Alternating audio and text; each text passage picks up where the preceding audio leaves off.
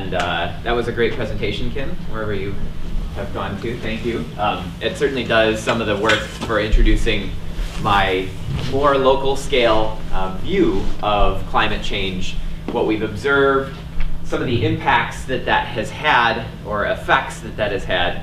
One of the things that um, the NSF tells us, the National Science Foundation tells us, don't use the word impacts, use the word effects, because impact is when something smashes into something else um, when you're doing public communication. So we're trying to uh, trying to, to uh, rephrase our, our speaking a little bit and, and, reduce the jargon there.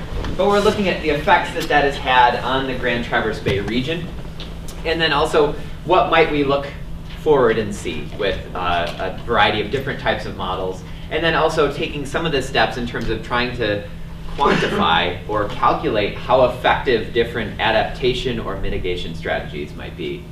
So this is work that we conducted um, starting in around 2012, I think, through 2015.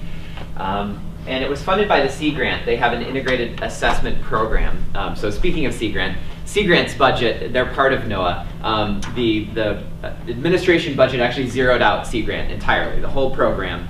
Um, thankfully, Congress, um, Sea Grant is, is a, a, a, an agency with many defenders uh, spread all across Congress, and so they were able to restore Sea Grant's funding. Um, but it's certainly, they perform um, really vital funding and, and work directly, data product provision, things like that. One of the things they do in Michigan is they fund a couple of integrative assessment programs every couple of years, and ours was focused on the Grand Traverse Bay region. Now, what, a, what an integrative assessment means in their view is it's working together with stakeholders to, um, so that's the integrative piece, to assess, um, in this case, what might the vulnerability be of the region the Grand Traverse Bay region, and then what might some of the mitigation strategies uh, be that we could use. So the approach that we took here is to quantify changes in temp, uh, precip, um, ice cover, lake level, stream flow, and water quality. Um, and we certainly, we made a lot of headway in each of those. Not as much in water quality, largely because the amount of monitoring of water quality, at least long-term regular monitoring, is much lower. Um, the state does some of that, um, but really not enough to get a, a, a, small scale sort of regional perspective quite as much. And we wanted to assess some of the impacts of these changes on things like algal, bloom, algal blooms in, in um, Grand Traverse Bay, invasive wetland plants, shorelines, nutrient sediments, and pathogens. I mean, these are the things that the movement of water really affects, and that was one of the big overarching goals. Um, I definitely think, you know, in the, the, course of this, these are still active research areas for our program. So we didn't get all the way there. But instead we focused on the physical effects of the work that we're doing. Um, in terms of how climate change is affecting the movement and availability, of water, as well as how direct and indirect temperature effects are impacting uh, local recreational um, and, and other resources. And so um, then we work to develop and assess adaptive management strategies um, based on stakeholder recommendations and concerns. And this little picture here just shows you the region that we're focused on. So um, we've defined this based on a collection of different um, hydrologic unit code or HUC uh, codes, uh, code watersheds that um, encompass the Grand Traverse Bay and also its sort of surrounding coastal communities. Okay. I just want to briefly introduce our technical team. Um, a number of us on the top row are from MSU. Um, in my uh, immediate lab, my MSU hydrogeology lab, we have Dave Heineman, Sherry Martin, and myself. Um, and then we also have Pat Norris, she's an economist, as well as Erin Dreelin, uh, fisheries and, and wildlife natural resources person. Um, we're working with people uh, like Christine Crissman, who's working at um, the Watershed Center in Traverse City, Mark Breederland from uh, NOAA Sea Grant, and then a couple more professors from MSU. And of course, if you're familiar with, ac with academic work, the students really do most of the work, um, and we just present it. So uh, a number of the, the uh, a lot of the graphics here were produced directly by, by students in their work. So I wanted to just talk for a moment about our risk model. And, and the reason that I want to talk about this is just to give you an idea of the, the language that we're looking at. So um, in, in this model, we have first a hazard. Okay, so what is actually causing us to potentially uh, be vulnerable and have a risk? And in that case, we're looking at climate change drivers as something really we don't have the ability to affect in this region. Obviously, we all have the ability to do something as individuals and as our, with our vote and, and with our product choices to influence the broader global climate change phenomenon. But um, in this case, what we're viewing that as is an external driver. That hazard then affects us via an exposure. Okay, so things like direct physical responses. Okay, what does the direct warming of the air do to our landscape? What does the direct increase in, in precipitation do to our landscape? And then how humans are influenced or otherwise influence those response, responses. So our agriculture creates a risk for us because that agriculture is something that we depend on and then we that directly interacts with both temperature and precipitation changes. And then through our water resource use, we have a vulnerability. Okay, um, if we, uh, in this case, we're, because we're focusing on water, if we need stream flow or we need groundwater resources to irrigate our, our crops and so forth. So this hazard times an exposure and a vulnerability leads to risk. And I also want to talk about mitigation and adaptation separately. Um, the words are often mixed. And when we're talking about mitigation, the, the word actually has almost been dropped from the literature in terms of climate change because it has been used really how do we mitigate climate change? And um, I think there's a uh, perhaps a, a, bit of a a bit of a reluctant belief that we're not really going to be talking too much about mitigating climate change anytime soon, um, that we're instead focusing on adaptation to this thing that's happening. Um, hopefully, uh, a little bit of optimism in terms of sort of global climate change mitigation can resume. But we have actually mitigation options at the local scale. Okay, when we take an, an action to, um, to, for instance, if if we have uh, climate changes leading to an increase in stream flow, and that increase in stream flow um, leads to more, say, stormwater events that contaminate our beaches, we can actually mitigate that change by by altering things like stormwater retention. Okay, so that's a mitigation action, as opposed to adapting to a change, which would be like closing the beach more often. Okay, so those those two go hand in hand. Okay, so we had a bunch of uh, questions from our stakeholders, and I'm just going to throw these up here. We held a couple of different workshops starting in 2012, and a lot of the questions were, um, as we expected, were not water questions, um, but had, a, had either a direct or indirect connection to water. And really, um, economic impacts um, and social impacts are the top questions that stakeholders had in this. Um, and specifically wondering what, what are the changes that would be predicted, how would extreme events and stormwater change this, the focus, especially in this region, um, you, you might not re realize it, but the folks in the Grand Traverse region um, especially the stakeholders there, are enormously engaged in terms of stakeholders in a region. And there was a certain, uh, there's a certain amount of sort of stakeholder engagement fatigue that goes on. So really what we got was not as broad of a view of things as what, we just got the people who were really, really active. And that happened to be the stormwater people um, working in, in Traverse City. That wasn't just, but that was really a focus. Um, for, for good reason, that those people have been very successful in, in making changes, and so that's energizing the community there. Um, how, do we do, how do we support native species? So an ecological concern um, that certainly has impacts um, uh, relative or is directly impacted by climate change. And then how do we prevent invasion of new species, both things in like wetlands and inland lakes and questions like that. Um, how much do we need to do and, and when do we stop is, is certainly a relevant question. Um, so these were all a number of questions that, that we had to then subset out and identify from that a series that were much more directly related to water and, and, and its uh, associated effects. Things like extreme effects and extreme events and things like that. The next step we took once we started working with the stakeholders was we wanted to come back to them with an assessment of, at the local scale, what has actually happened since we tried to go back to 1900 um, in terms of climate and stream flow and things like that. And what we found, uh, just summarizing here, and I'll show you some slides, is that temperatures have warmed. Okay, that's um, just like we saw in, in, Kim's talk. Temperatures have warmed, warmed on the on the order of a degree, a, a degree and a half over the last 50 years, and about um, 1.8 to 2 degrees over the last century, uh, uh, degrees Fahrenheit. Precipitation has increased, both total precipitation and snowfall and I'll show you that. And the number of reported storm events has increased, and there's some indication of increasing extreme events. As Kim mentioned, um, depending on how you define those, you know, number of, uh, number of days with greater than 1.25 inches of, of rainfall. Um, but the, the records on that are a little bit more spotty, it's, and some of the extreme events happen at, at the sort of sub-daily level. Um, so there's not as good of records over that time period, but we certainly, the research suggests that those are likely to increase in the future. So if we look at these spatially, um, just as sort of points on a, on a map, and, instead of trying to connect them, because what we find is that individual cities and individual location records have pretty different trends. Um, but in general, oh, you can't see this very well. This is slightly warmer here. So we have cooler to no trend. And there's a couple stations, especially um, surrounding and in, in, uh, direct proximity to water, that have had very little temperature trend over the last, um, I think, what is the record on this? I believe this is 1940, 41. Actually, maybe it goes a little bit back. Uh, it's about 100 years back. That's, that's it. Um, each station had a slightly different record. But the stations um, in and around the Grand Traverse Bay have seen very little temperature change, um, in, in large part due to the effect of the lake and changes in ice cover on the lake and, um, and things like that.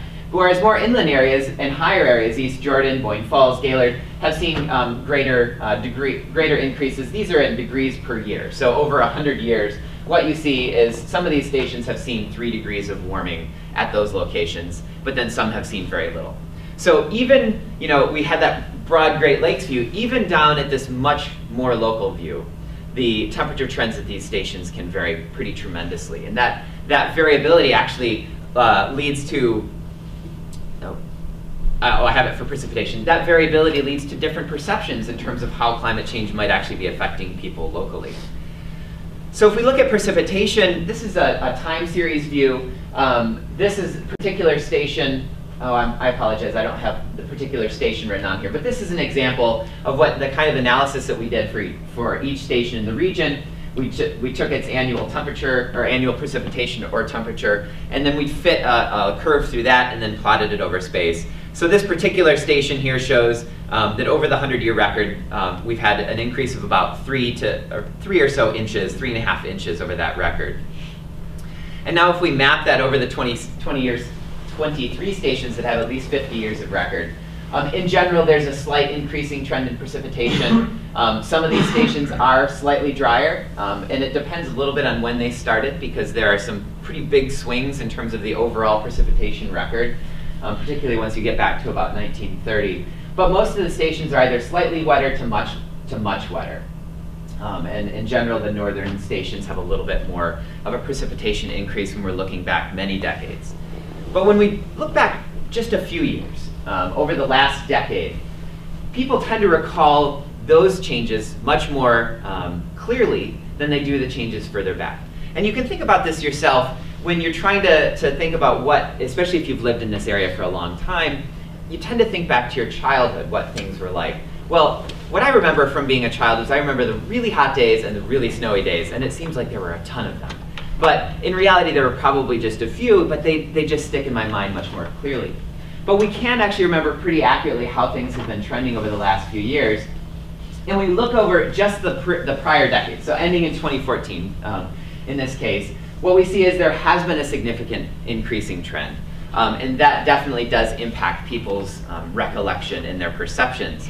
Another part of this that I'm not um, reporting on here is we did a, a, survey over the region of people's perceptions in climate change. How has climate been changing? Um, along with other aspects related to climate change to try and better understand how spatially they, they might perceive their climate differently and then how that actually relates to the physical record. Um, and, and pretty, it's pretty interesting results. It's still, uh, that's still a work in progress in terms of um, publishing that.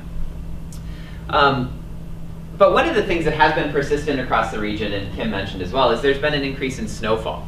And this has largely been in years in which there's little snow, a little ice cover on the lakes, or, or less ice cover on the lakes. Um, so in general, there's been a pretty strong increase in annual snowfall. Again, this is just one example, example station, but that's much more consistent across the period um, and, and stronger in the, in the uh, lake effect precipitation band. If we look now at stream flow, so all of those direct changes in temperature and precip have a series of related and following impacts on the landscape, both impacts in terms of how water moves and evaporates, as well as changes in, in terms of the, the ecology and biology on the landscapes. Um, if we take the Boardman River stream flow, so this is, uh, the Boardman River actually shifted the, the gauge that's available um, so if we go back to the, the 1998, which is the start of the current location on the, the upper Boardman, Um, and we look at the seasonal stream flow. So plotted in red, um, yeah, red is spring, blue is fall, black is summer, and green is winter. What we can see is the patterns themselves in those seasons are changing. So spring, even over the last 20 years, spring stream flow has been increasing. Fall has been increasing, while winter and summer flows have been decreasing. And this change in seasonal, uh, in the seasonal pattern, and these are defined as like uh, January, um, uh, January, February, March is winter, and so on. So in those three-month periods. So um, what we did was we analyzed each of the stream flow stations and looked at those shifts um, because those shifts are related to changes in how much snow is available um, and how much how early that snowpack melts is, is one of the primary changes. But then when you get to summertime, the, the length of the growing season, the temperatures and the evaporation potential um, during this, the, the growing season certainly impact that as well. So these two um, plots here, the spring and summer tell much of this story. So up here, spring means in general, um, it, because it starts by this definition in April, that's when you start to see most of the melt of your seasonal snowpack. And so what we've been seeing is that our, springs, our spring flows have been increasing significantly okay? Um, while our summer flows are decreasing significantly. So this pattern, the trade-off of um, increasing spring flows due to things like earlier snowmelt um, lead to, in part, to decreasing summer, uh, summer stream flows across the entire region. When we look at fall and winter slopes, those changes are more variable. They do have a consistent pattern where we have increasing flows in the north in the fall and decreasing flows in the south um, that are related to a series of complex factors. And then winter changes are, are much more variable and, and depend much more on the starting period of that particular gauge. So one of the things that we recognize very clearly in this project is that in order to do this sort of local scale climate assessment, we really needed, um, we, we needed more data. There, there weren't a lot of data. We started the, there wasn't a lot of data that really went back to a long enough period for us to identify trends. So um, we started out, we wanted to identify things like, well, how have, you know, how have uh, spring dates changed? How have, uh, you know, the arrival of certain birds and things like that? And the more we dug, the, the more frustrated we became with the lack of, of available monitoring data. And I, I just want to mention this, that this is something we've realized for a while, um, that there's almost no long-term groundwater mo monitoring going on in the state of Michigan in some areas with regional, large, important aquifers, like the High Plains area, the Ogallala Aquifer, they do have long-term groundwater monitoring. Here in Michigan, the USGS, USGS maintains like a, a, handful, maybe 10 gauges um, over any length of time, and most of those are clustered around a couple of cities. And so um, starting back in 2003, we started, we instrumented a number of wells around the Grand Traverse region using a series of wells that USGS dug in the 1970s and were interested in filling in. And we said, well, how about you just leave those open and we'll, we'll maintain them and we'll monitor groundwater levels. So we did that. We installed in 17 locations. There's actually 18 dots because one of them is a stream flow gauge at Ranch Rudolf. Um, we've been monitoring water levels and temperatures in the groundwater since 2003. And starting in 2008 and continuing more in 2010, we began measuring soil moisture and soil temperature because that's another variable, particularly in natural environments that we have very little measuring of. And we became really interested in it because as the change, as uh, climate change leads to alteration of the snowpack, the seasonal snowpack, um, we expect that there should be pretty big changes in terms of soil moisture availability and soil freezing and soil temperatures underneath, which all have impacts on agriculture. Um, as was mentioned, so say the, the growing season gets earlier by 15 days. Well, if the soil doesn't warm, that, that doesn't mean that you can necessarily go out and plant your seeds earlier. Um, I, I thought I'd get a jump on the grass growing season this year by planting while it was relatively cool, but we still had warm days. But my grass seeds took three weeks to germinate because the soil was still so cool from the, the preceding um, late winter that we had. Um, so we're, we really don't have enough data to, to understand this, and we've been working to try and, uh, and continue to monitor this. So we use some of the funds, just a little bit from this integrated assessment to keep this network running, and we sort of pieced it together um, with a lot of volunteer effort uh, over the last uh, number of years. And one of the things that we can look at with it, um, this graph is a little bit uh, it's kind of interesting to think about. But there's two colors on here. There's a forest and an open. These are at the same site. They're separated by, oh, about 100 feet. One is in a dense red pine plantation, you know, those row, the row plantations. And then the other is in a mowed open area. And um, plotted on here, so in on this side we have in squares, this is the 90th percentile. So what are the highest temperatures that are observed in, in, on average over each year? And this is the 10th percentile, what are the lowest temperatures? So I wanted to show you that um, there are impacts not just in terms of climate, but also in terms of the land cover, um, uh, in terms of annual, or in terms of temperatures. And this is depth. So if we look at the surface, it's, it's zero, and down to two meters here in, in depth. So at this particular site, and it's pretty common elsewhere, what we see is if you have a forest, your warmer temperatures are lower than they are in the open, which makes a lot of sense in the summertime. But they're also, they're also, um, or they're cooler in the summertime. They're warmer in the wintertime. So the variability in the forest is significantly less than the variability in the open area. But on average, the forest soils are cooler, okay? So this type of, of um, variability is, is influenced by human, uh, by human behavior, human land cover choices. And I'll bring this up later again when we're talking about how might we actually adapt to um, climate change and mitigate some of its impacts. Is that we do have a choice of land cover, and that land cover can affect uh, soil temperature, which certainly could be important for helping us to reduce the impacts of, of warming on, um, on cold water fisheries, for instance. It also helps us when we're talking about um, the amount of groundwater recharge that comes off, or the amount of runoff that comes off, we can make choices about our landscape in terms of trying to better manage those really large scale um, drivers. So here's a couple of, uh, three of our wells, and I wanted to show these. We do have some data gaps. Um, we've done our best to keep this uh, continuous record as much as we can. Um, there, are three, there are three wells that are shown here that are just highlighted. Um, they're hard to read individually on the screen. But they're from the central area. They're, they're all kind of relatively upland, not really near the lake. And what you see is around staying uh, through 2004 through around 2011, these wells were relatively low, and they've been rising since. And actually what they look a lot like, um, if you were to add on the recent record, they look a lot like the, the lake levels, okay? Um, not that they're necessarily responding to lake levels, but that the drivers of lake level changes are also impacting the, the, level of groundwater in this region, in these otherwise natural areas.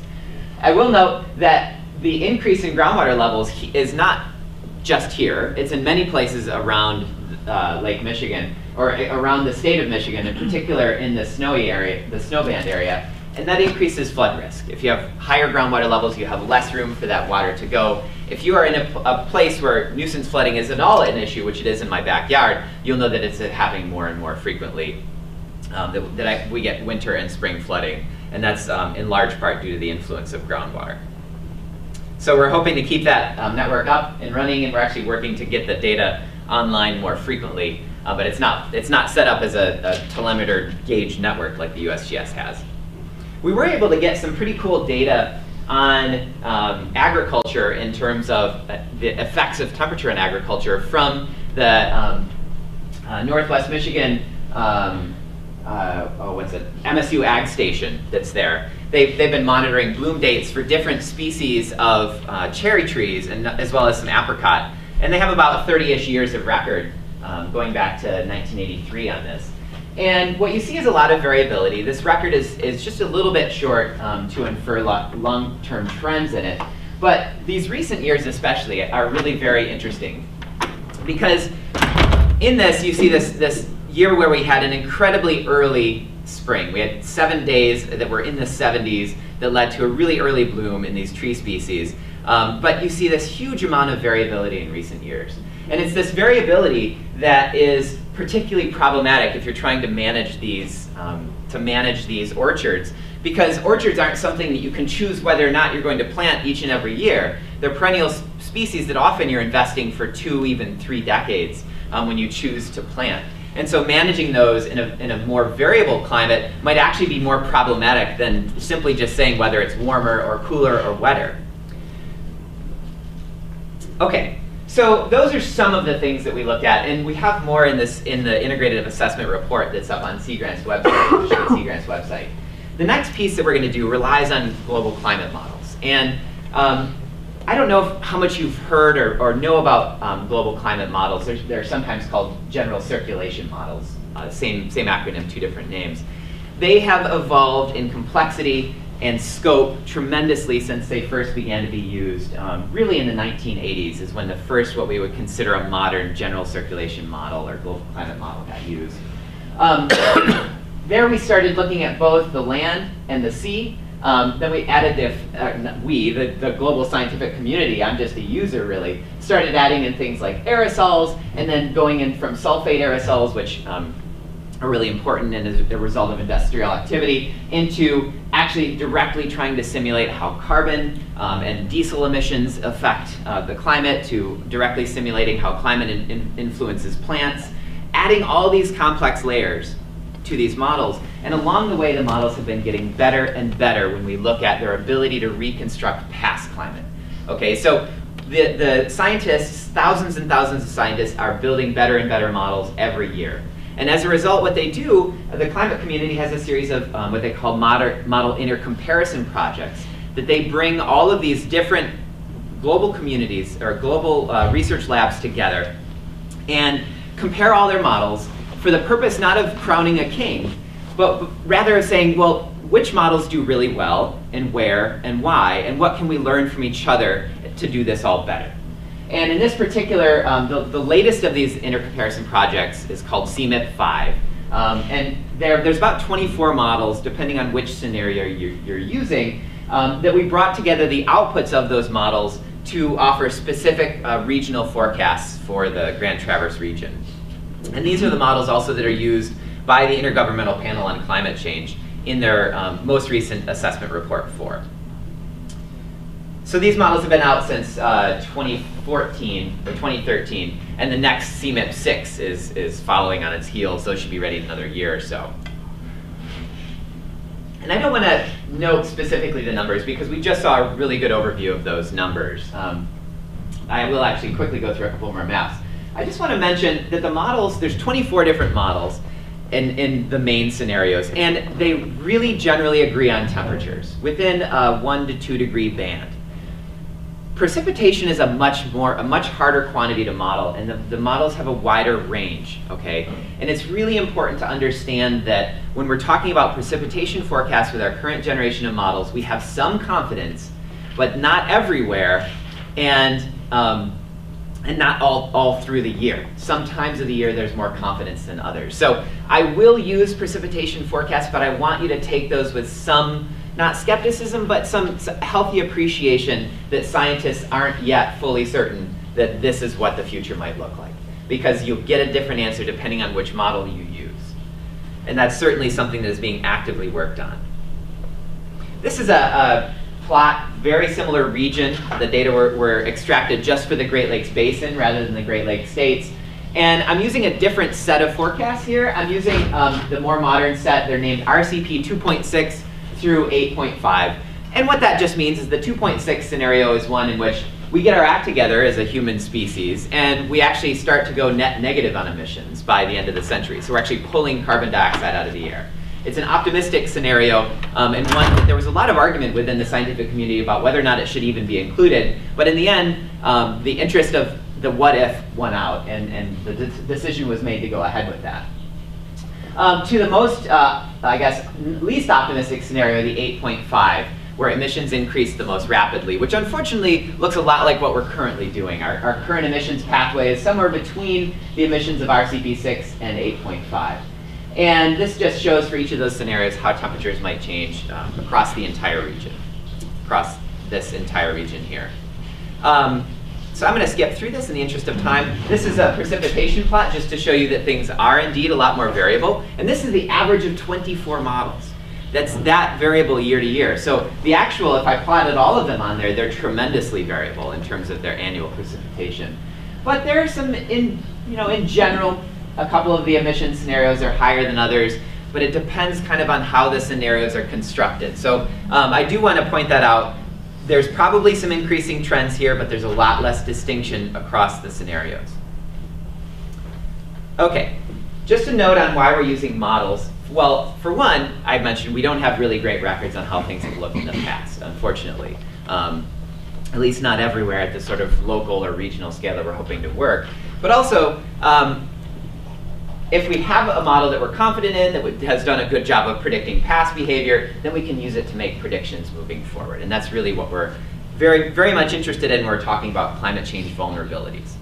So from the stakeholder meeting that I mentioned, we identified several questions that were really specifically related to either direct or indirect temperature effects. This was the first step we wanted to take. Remembering that the climate change forecasts are significantly more confident for temperatures, we thought this is a good place to start. So there were questions about changes in freeze thaw. How, how will potholes and the need to repair roads change um, with increasing freeze thaw? How will that affect crop loss? Obviously, it's an important factor when we're talking about um, uh, those uh, are blooming uh, apples and cherries and things like that. And then things that are just directly changed in temperature, people are interested in how fall colors would change. That's a recreational question, not just an aesthetic one, because people come here for that purpose. Um, will the growing season change, or how will it change? And then will heating and cooling costs increase? Um, we, were, we worked really hard on the fall colors, but couldn't come up with a model we were happy with, so I substituted it for how will the ski season change, because I'm interested in that, and actually I think it's a pretty important question for the region. Um, I'll skip past that. Um, just I wanted the, that slide just showed this is the methods that we used. We used all of those forecasts from all of those models. We took it over the whole region and then we averaged it together to one number over the over each decade. So this presents to you a decadal sequence of, of numbers from each of, of three scenarios. We haven't included that the 2.6 scenario um, because we don't didn't consider that a likely a likely candidate. I'm going to show you a series of slides that all look very similar. We have decades starting in, in the 1980s, so this is at 1985, 1995, and so on, going out to 2095 is the final year. So numbers prior to this line are using observed data. Numbers going forward are using a specific um, climate forecast. So the top shows the change in heating degree days, and what you see is that goes down.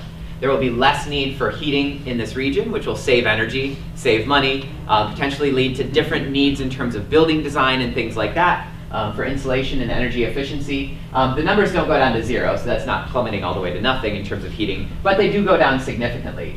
Those, the loss in heating need, though, is at least partially, if not fully offset in terms of um, when you look at actual energy use, by an increasing cooling need. And this is actually something that's really significant for this area because a lot of homes do not have air conditioning. I was out sampling one of our wells one time, and 50 feet away was a guy who, was, who had his uh, well on, spraying water onto his roof in order to cool his, his mobile home. So, I mean, this is obviously like the worst possible way that you can cool your home from a water and energy standpoint, but it was the only thing he had. And so the increase in cooling need is something that has practical impact in terms of new building codes, um, retrofitting old, old uh, homes, um, and making resources available for people who are unable to purchase their own. So that's a, a, certainly a direct, useful one. Here's the one that's, that's interesting and has an economic impact, and that's changes in the ski season.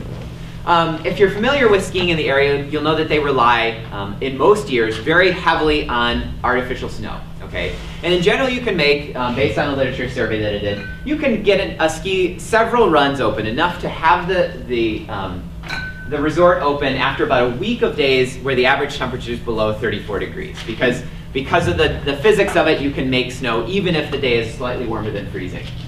So what we did is we then plotted this out and showed that the, the outlook is rather bleak. In the worst scenario, we have ski season starting um, in January, okay, so after the new year, and then ending by the middle of March. So you don't even get three full months for a resort to have its lifts open which it certainly calls into question the economics of all but probably the, the best um, the best situated ski resorts in the area. And even under the less optimistic scenarios, we see decreases in over a month. So when you're talking about a ski season that's only five, five and a half months long at its longest, and you lose a month of that under any case, you're talking about major impacts in terms of how those, those facilities will operate. Of course, we also have a longer growing season. Here's a similar um, calculated the same way, the date of last frost to the date of first frost, and we see that that's changing significantly. Um, at least in this area, it looks like we're having a last, a first frost that happens significantly later, and as well as a last frost that's happening somewhat earlier. So there's changes on both ends. It's a little bit asymmetric and somewhat different than the, the view that you had presented, Kim, but uh, consistent overall story about 30-day change um, in the growing season and dependent on the, the uh, scenario that we're considering. If we look at freeze-thaw cycles, that's where things start to get a little bit interesting because the variability of climate increases. And we're talking about something that happens right at a threshold. So if you have a warm year, you don't necessarily hit that threshold as much as when you have, uh, or when you have a really cold year, you won't hit that threshold as much. But when you go to these in-between years, that's when you cross this freeze-thaw threshold a bunch of times. Mm. And what we see is, and it depends a little bit on how you construct this and what assumptions you make, but with a reasonable set of assumptions, it looks like we're getting um, years in which, in, in general, there's an increasing trend in these freeze thaw cycles, and in some years, many, many more. Okay, and this is a decadal average. So some years you have a huge number of freeze-thaw cycles, basically one happening um, just about every other week or every other 10-day period. So this is something that, that um, is potentially really interesting. We didn't have good data, like pothole data or anything to calibrate this with going backward, but certainly has some relevant relevance in terms of how structures are designed, how often road surfaces need to be refinished, the, the resources that need to be allocated for maintenance of, of outdoor facilities and so forth. Okay, one aspect of agriculture that I'll address here is um, given that past data, we were actually able to say, to make a pretty good model of how the bloom date of tart cherries changes as a function of a couple of simple variables, temperature-based variables. And shown in red is the annual time series of the bloom date. And shown in yellow is the model that we constructed. So in general, the model does a really very good job, with the exception of those extreme swings there. Um, the model didn't quite capture the exact details of that, but confident enough that we could use this model to look forward a little bit and say how would those change, how would those bloom dates change going forward. And what we see is in the most, um, in the most conservative scenarios, we have a shift of about a week to a week and a half in terms of earlier bloom dates, okay? And this is, again, a decadal average. Whereas we see something that's a shift of almost a month in the more extreme of those scenarios. And obviously that's something that the range of those scenarios is tremendous and what that means in terms of how farmers would manage those crops, the infrastructure that they need to prevent frost damage, um, or potentially shifting to different less sensitive crops um, certainly needs to be taken into account. All right, um, and then we also tried to say, well, what's the risk of loss of the crop? And this was something that was a counterintuitive result.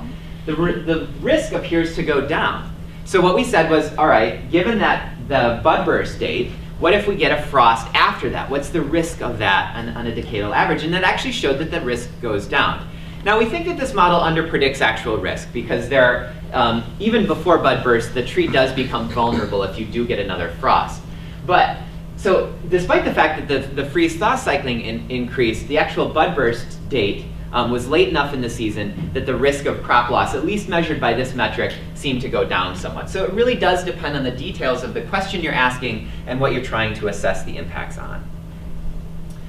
Okay, so that was all simple, relatively simple modeling related to temperature effects alone. And we wanted to then say, well, what happens if we integrate changes in temperature, changes, changes in precipitation, how that would affect how the, the landscape behaves, how, how plants um, green up and senesce each season. And to do that, we needed to use a much more complex modeling tool. And we used a tool called the Landscape Hydrology Model, which we've developed um, at, in our research lab. It was actually part of my dissertation work um, over 10 years ago now.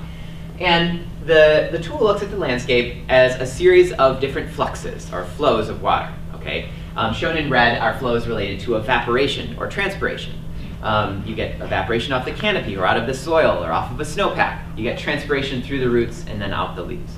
Um, and then you have downward movements of water. Water can percolate down beneath the root zone of the plants and eventually become groundwater recharge. That's a key quantity that we're interested in.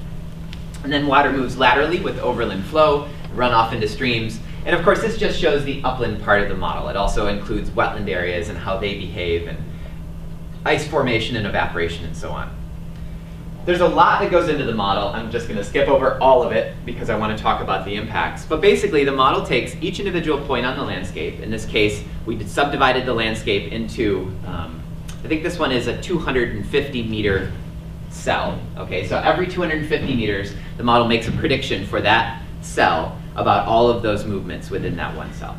And then it, we look at all of the cells and how they behave together to, to get a better, a bigger regional picture.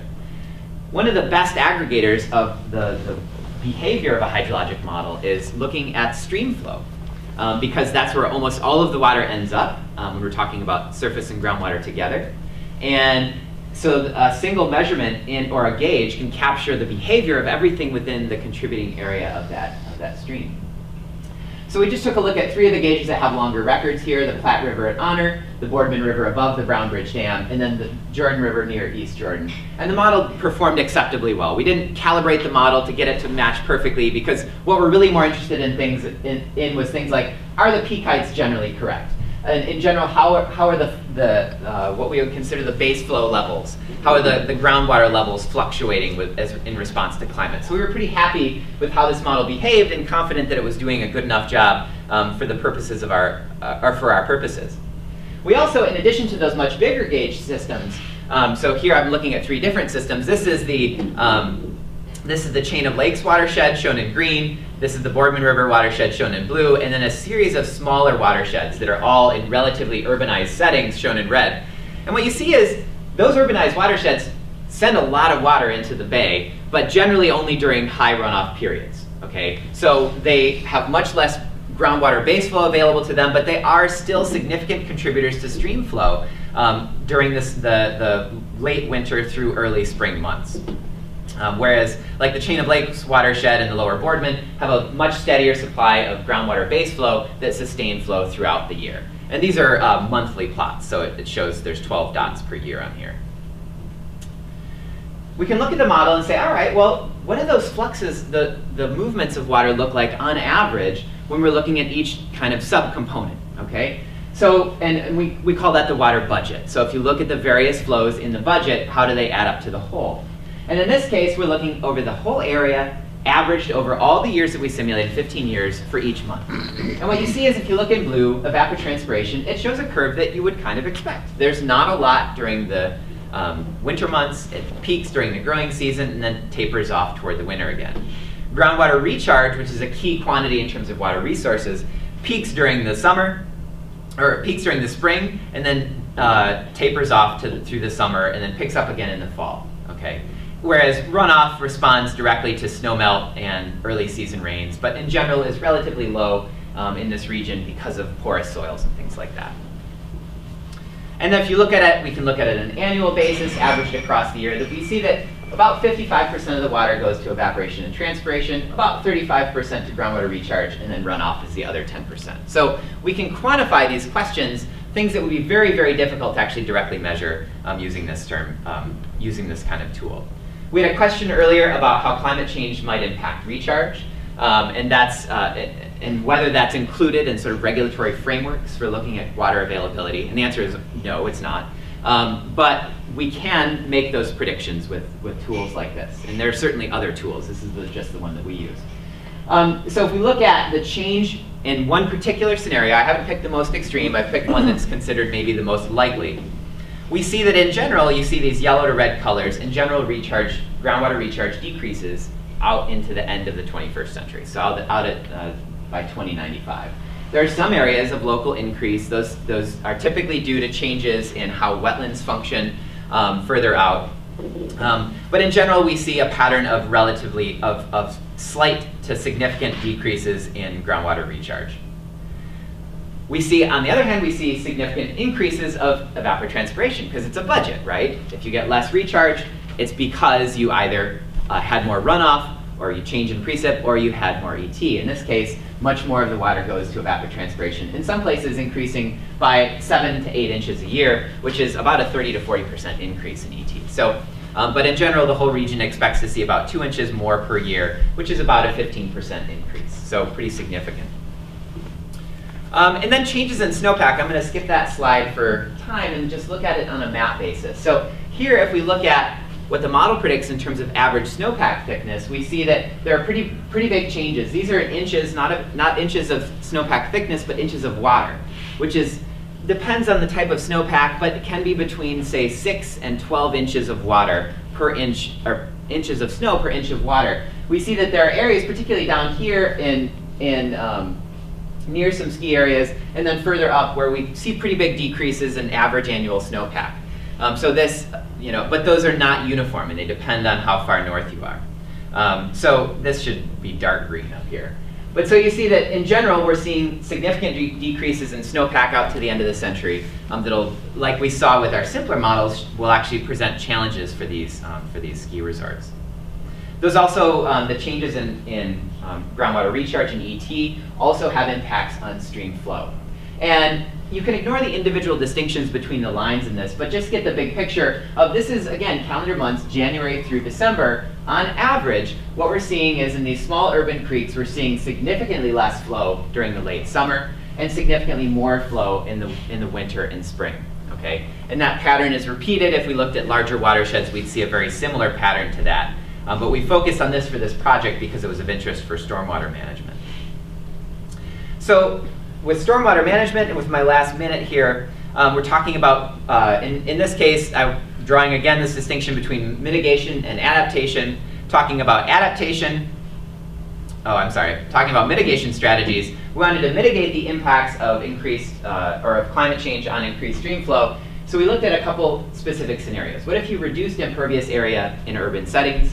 And what if you expanded the, the reach of on-site stormwater retention? Okay, so two different realistic scenarios that could be applied in a stormwater management setting, and then just simulate those directly in this, in this modeling framework. Well, both of those, both of those methods are effective.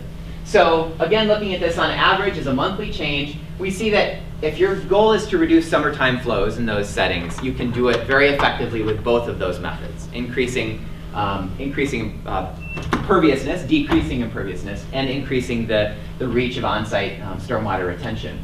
They have different effects in the spring, though, relative to each other. So some slightly increased stream, spring flows, some slightly decreased spring flows. So this seems like, okay, well, depending on what our goal was, we could potentially use this as a way of perhaps mitigating the effects of climate change. Well, unfortunately, the numbers on this axis go from 1 to 6%. But when we add that on top of climate change, where the numbers go from minus 20 to minus to plus 40%, what we see is this lever that we have to operate, at least when we're talking about Traverse City and its surrounding area, is really small compared to what's happening to it in terms of stormwater, okay? So that's not to say that we can't do things to make the stormwater of better water quality, but it is to say that there's not a lot that can be done directly to actually influence that amount of stormwater runoff. It is going to change, and it's going to change because the snowpack is changing, because of temperature, because of the amount of water that comes in various seasons as, as precipitation, and of the response of the, the groundwater system. So in this case, mitigation is not an effective tool, but rather we need to be looking at adaptation. How can we adapt to these changes to achieve the outcomes or maintain, maintain or improve water quality? And then the very last thing I wanted to mention is that we do actually have a bigger tool available to us, and that's that we can change the landscape itself. If you look back at the last century, human landscape alteration has been much more powerful at influencing the water cycle than, than climate change. That is going to be overwhelmed moving forward is, if, unless things are changed because climate change is going to be so much of a stronger signal. But if we, if we recognize that, like I showed you in the plot of temperatures, we can change temperatures by several degrees just by reforesting a plot, we do actually have the ability to manipulate both temperature and water availability. So what I did was I ran a scenario where I took current land use, so with its current mixture of agriculture, urban, and forest, and so, and so forth, and then replaced it by the land use that was here pre-settlement, or at least pre, uh, pre-European uh, settlement.